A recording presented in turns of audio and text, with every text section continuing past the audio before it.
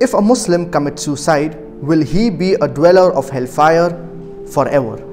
Will his punishment never end even if he was a righteous person in this worldly life and performed ibadah to Allah? Allah subhanahu wa ta'ala says in the glorious Quran in Surah Nisa chapter number 4 verse number 29 وَلَا تَقْتُلُوا أَنفُسَكُمْ and kill not yourself. So suicide it is clearly prohibited in the glorious Quran and suicide it is a major sin.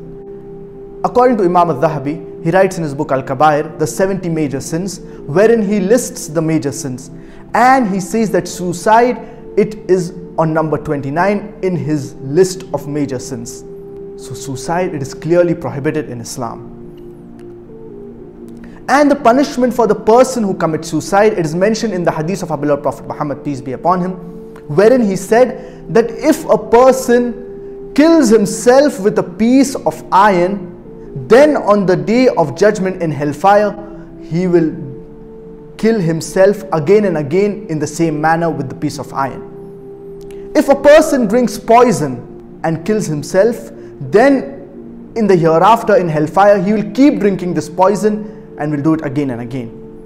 So, the punishment for the person who commits suicide is that he will kill himself the same way in hellfire.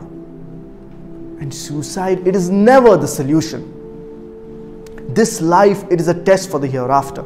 Allah subhanahu wa ta'ala says in the glorious Quran Surah Mulk chapter number 67 verse number 2 الَّذِي خَلَقَ الْمَوْتَ وَالْحَيَاةَ لِيَبْلُوَكُمْ أَيُّكُمْ أَحْسَنُ عَمَلًا It is Allah who has created death and life to test which of you are good in deeds. This life, it is a test for the hereafter. So even if a person has trials and tribulations, he has to bear it with patience and perseverance. And if a person commits suicide, he is being ungrateful to the decree of Allah subhanahu wa ta'ala. And one of the pillars of Iman, as we know, it is believing in Qadr, that is destiny, whether it be good or bad. So even if there are trials, even if there are tribulations, a person has to bear it with patience. And a believer's situation, it is always a win-win situation. If good befalls him, he is grateful and thankful to Allah subhanahu wa ta'ala. And if there is any test or any tribulation, he bears it with patience and he will be rewarded for it. So for a believer, it's a win-win situation. And suicide, it is never the solution. And as you asked in a question, that the person he has committed suicide, and if he performs ibadah, and if he's a righteous person, will he go to paradise?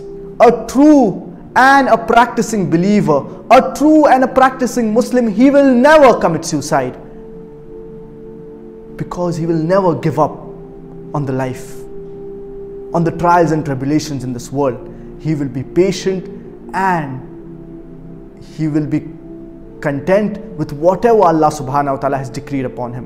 And Allah subhanahu wa ta'ala says in the glorious Quran, Surah Nisa chapter number 4 verse number 48, Surah Nisa chapter number 4 verse number 116, إِنَّ اللَّهَ لَا يَغْفِرُ أَن يُشْرَكَ بِهِ وَيَغْفِرُ مَا دُونَ ذَلِكَ لِمَن يَشَاءُ That Allah subhanahu wa ta'ala he will not forgive the sin of shirk, but He may forgive any other sin if He pleases.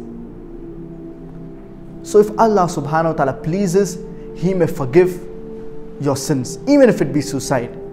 And He may directly admit you into the gardens of paradise. If Allah wishes, He may punish you in hellfire for some time and later on admit you into the gardens of paradise. It is Allah's prerogative. And our beloved Prophet Muhammad, peace be upon him, said that anyone who says La ilaha illallah. Anyone who believes in the Shahada, that is La ilaha illallah Muhammadur Rasulullah, there is no God but Allah and Prophet Muhammad, peace be upon him, is a messenger, he will enter paradise. And our beloved Prophet Muhammad, peace be upon him, said in another hadith that anyone who has an atom's weight of Iman in his heart, he will enter paradise. So eventually, the believers, even if they have an atom's weight of Iman in their heart, eventually they will enter paradise. So we should never despair of the mercy of Allah subhanahu wa ta'ala. Even if we are tested, even if we are trial, even if there are tribulations in this life, our main focus, our main goal should be attaining the pleasure of Allah subhanahu wa ta'ala, should be attaining Jannah. And if this is our main goal, even if we have trials and tribulations in this life, we know that it is temporary. But the home of the hereafter, it is eternal and it is everlasting. And the believers, they will abide in paradise forever. So the life of the hereafter, it is eternal and it is everlasting.